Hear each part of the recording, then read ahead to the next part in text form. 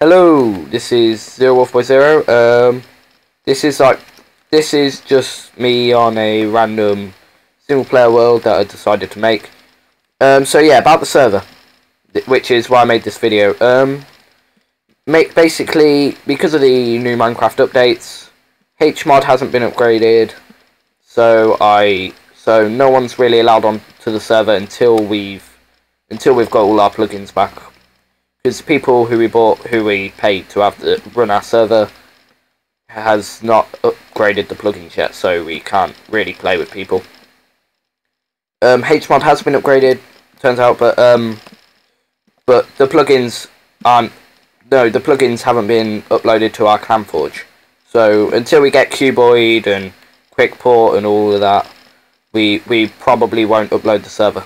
But we'll probably be back on the 28th or 29th of February. Which isn't too long, a couple of days. And that's all I want to say. It's been Zero with Zero. Bye.